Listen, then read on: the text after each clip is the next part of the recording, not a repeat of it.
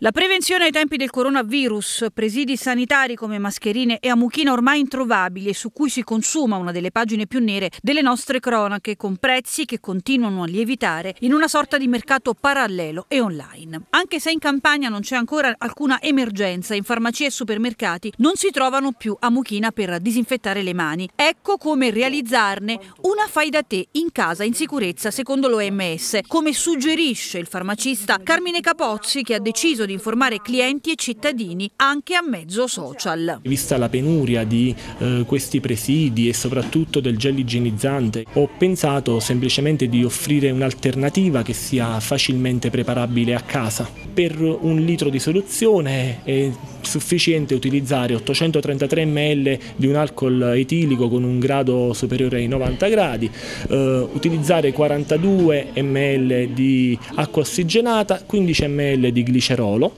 e poi ottenuta questa soluzione aggiungere quanto basta per un litro di acqua distillata. In mancanza di questa si può tranquillamente far bollire l'acqua e lasciarla poi ritornare a temperatura ambiente. Una soluzione che ci garantisce un'ottima copertura e può essere utilizzata anche nelle scuole visto che questa è la richiesta più pressante che ci stanno facendo. In questi momenti c'è da fare eh, fronte comune, certamente non eh, vere e proprie operazioni di sciacallaggio.